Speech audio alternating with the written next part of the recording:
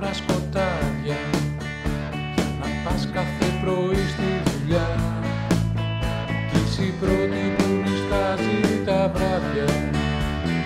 Θες να κοιμηθείς απ' τις εννιά. Είσαι η πρώτη που νιστάζει τα βράδια. Τα βλέφαρα σου πέφτουν βαριά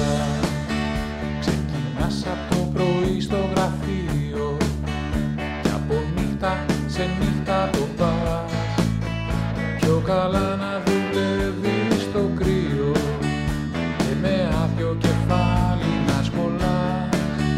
Πιο καλά να δουλεύεις έξω στο κρύο και χωρίς σκοτούρες να γυρνάς. Είναι λίγο ακόμα στο κρεβάτι Ας τους να πνιγούνε στη δουλειά. Κι αν αργήσεις δεν θα γίνει κάτι. Η γη θα συνεχίσει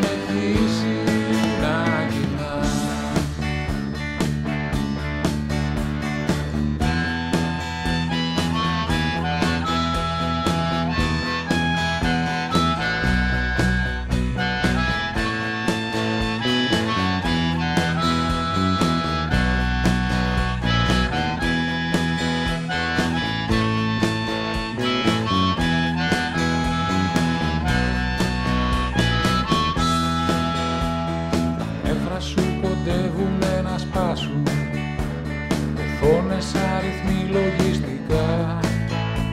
Και δέκα ώρες πάλι δεν θα φτάσουν Να προχωρήσει η δουλειά. Και δέκα ώρες πάλι δεν θα φτάσουν Να ευχαριστηθούν τα παιδικά